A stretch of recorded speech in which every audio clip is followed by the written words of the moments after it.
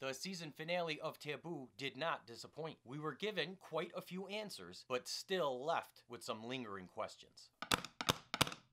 One of the answers we got is what did Sir Stuart do to James? James was one of the boys that Sir Stuart sent to crew his slave ships. And now we know how James went from being in London to getting on the slave ship the influence. It was under Sir Stuart's command. But we also had something else confirmed with Sir Stuart. In a previous video where I talk about uh, the hidden, the underlying meaning in Taboo, I bring up Sir Stuart is the one who is going mad in this show. And we see in this last episode that he actually states he is going insane. The big shock of the episode was Zilpha's death, and I couldn't even believe it when it happened. I I just couldn't believe what I just saw. They killed Zilpha. And this leaves a lot of questions in my mind. If we look at Lorna and James, if Lorna is going to be James's romantic interest, this is no surprise. From Lorna's initial introduction, when James, Lorna, and Thoyt meet in Thoyt's office, there is tension, obvious tension between James and Lorna. And it never goes away. They, they highlight it in every episode. Not only is there tension, but there's something else about Lorna in the sense that Lorna is James's equal. We see how competent, capable, confident James is, and Lorna is the same way. There's quite a few scenes throughout the series where they show what a competent, capable woman Lorna is. When Lorna visits Countess Musgrove, and the way she handles herself in that, from the start, she walks into the room expecting Countess Musgrove to be alone, and now she has to figure out how do I talk about this secret stuff in front of these two women, and she does a phenomenal job at it. And then when her and Countess Musgrove are are alone and Countess Musgrove tries to intimidate her, both with her power and a knife, Lorna is not intimidated. She keeps her cool and stays in control of the situation.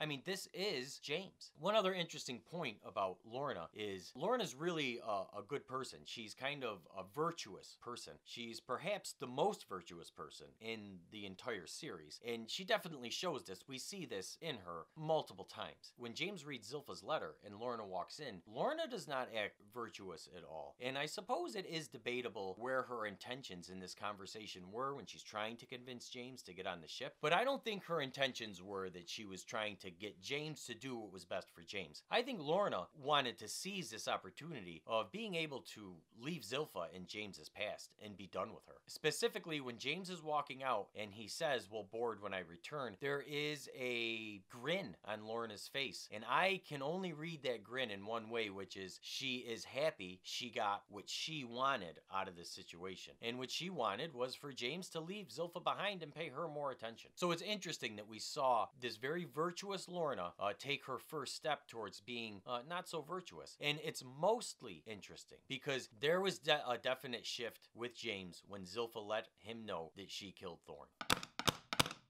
we may see more of Zilpha. One of the things she says to James is, An eye that I did not know I had has been opened. So now Zilpha has had her third eye opened, just like James. I'm not sure what that means, but it means something. It's why it was said. After James kills Dumbarton is when he confirms with himself that Zilpha is in the river. She starts to sing to him and he sees her. She says, James, we will speak again. We may just see Zilpha in visions, or there may be a lot more to Zilpha in the upcoming seasons.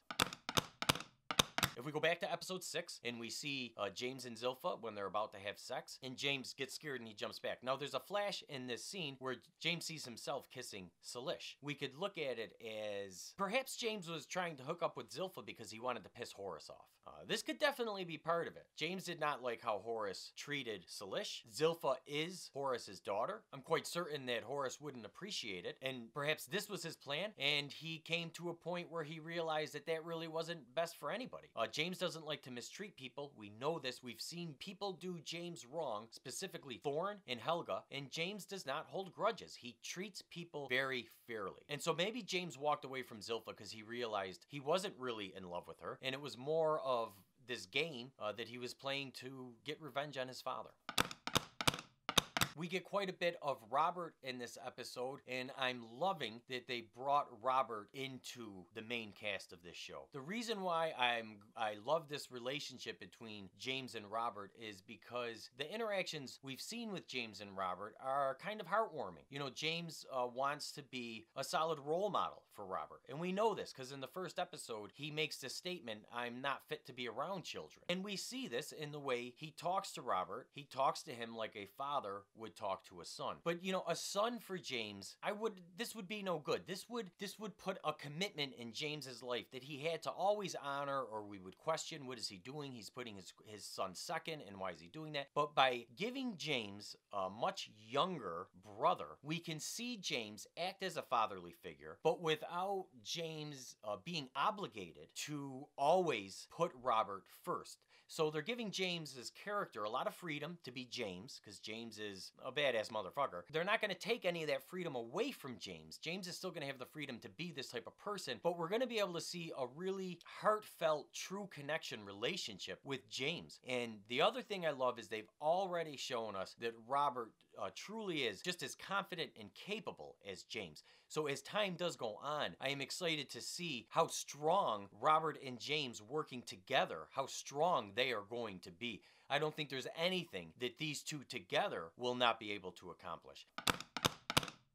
We also had the whole incident with the influence wrapped up. This is part of the storyline that James is definitely going to leave in London and that we will not see again in the second season. We know that this storyline was wrapped up because we see Chichester grab James's and Godfrey's letter. The last words from his mouth are justice. So letting us know that those slaves received the justice that they needed and this storyline, this conflict for James is over and behind him now.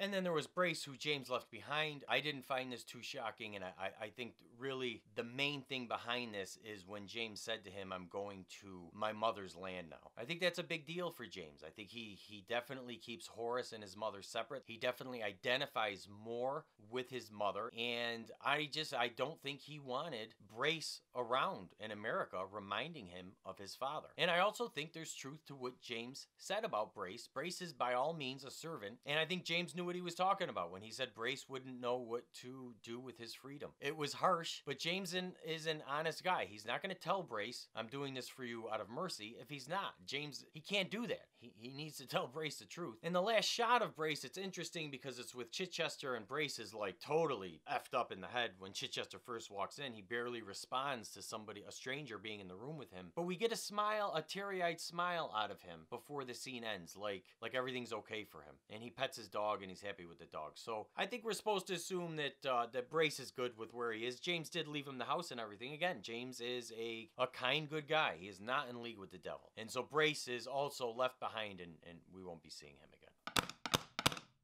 So, what questions did they leave open for us? Well, honestly, we still don't know what the hell James is. And yet, there's, there's still reason to doubt that he is human. Now, in this episode, he tells Sir Stuart that he did not die in Africa. But I don't necessarily believe him. He tells Sir Stuart that he did not die in Africa, that an African saved him, cured him, and showed him to himself. And that all sounds right. But yeah, I mean, honestly, I'm not convinced that James hasn't died yet. But I am convinced of something else. James is confused about what James is. It's when he's insisting that if Zilpha killed herself, he would hear her singing from the river. And Lorna is like, but dead people don't sing from the river. And James says, but if they don't sing, then how do I hear them? So when he first said this, I took it completely as James being a smartass because he is a smartass at times. But then I then I, I I remembered a line, one of my favorite lines from the first episode when James is in the meeting with the East India Company and he says, "Are you deaf?" Because he keeps repeating himself and they keep asking the same questions. And it was interesting when James says this line, he is being a smartass, but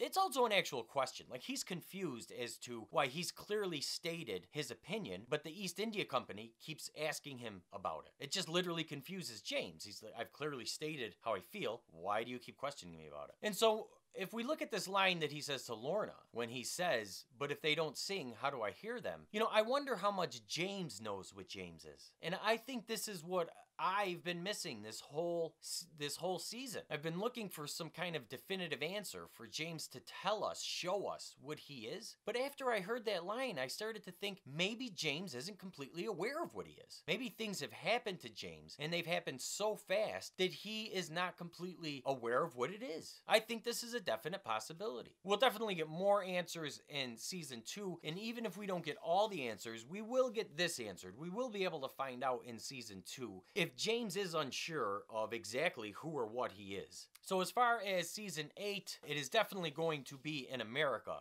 we are going to see uh, James and Robert's relationship advance. We will see a relationship moving towards romance, if it, even if it doesn't get all the way there, between James and Lorna. I'm not sure how well that relationship is going to work out, if it'll be a permanent one, but they will uh, play that up through season two. And we're also going to get more about Salish. This part of James's visions uh, has not been resolved. Uh, we are going to, I imagine we'll get more visions. It's a style of the show. I can't see them removing that. And they're definitely going to revolve around Salish. And I think we're going to find out more information about why Salish tried to drown James. And we're going to find out more about who, what James is and what abilities he actually has. Because especially with the Fang shot in the vision from episode 7, I it's hard for me to believe that James is not more. So I think we're going to see uh, more of that. I want to thank everybody, all the Taboo fans, for watching the videos I put out over season one. It was really great having so many people that loved the show and enjoyed the videos and commented. It was really fantastic.